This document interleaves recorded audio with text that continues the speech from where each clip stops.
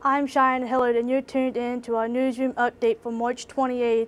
Tune in at 5.30 on WMCO for a full look at your state and national news.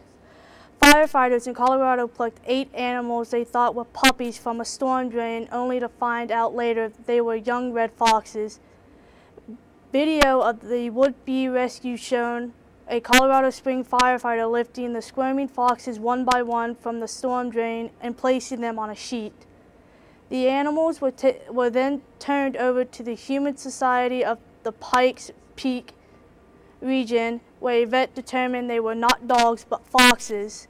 State Wildfire Manager Travis Sauter told CBS 4 it's not uncommon people to come across young wild animals at this time of year.